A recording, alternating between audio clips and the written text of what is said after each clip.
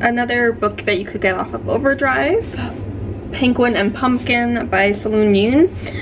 Um, but like this one is one where it um, jumps out of the app into um,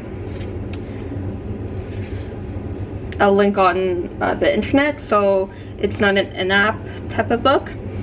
Um, like the imagery is okay the penguins are kind of cute so. Um, so you do get like that comic conversation. And like the non-text non-word um, text non-dialogue text is above and different. Um, but you also kind of get that as well.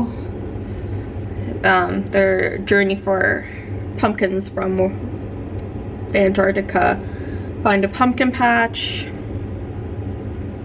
So like them just experiencing fall. Um, so a situation that would be cute for the young kids to have a look at the like penguins that won't normally see fall go and try and find it um, so nice little adventure fairly quick um, short sentences and such. So a nice little fallish type book to read to the kids. So penguin and pumpkin happy readings